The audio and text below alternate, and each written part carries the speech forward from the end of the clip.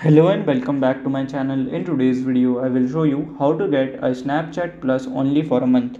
So let's get started.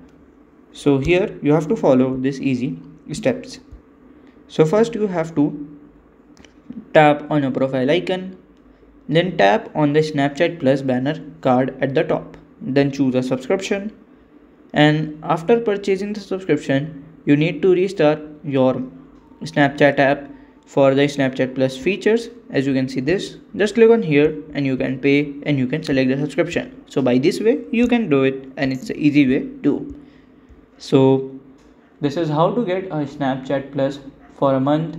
And if you have any questions you can let me know in my comment section. And if you find this video helpful make sure you like subscribe and share the video. Thank you for watching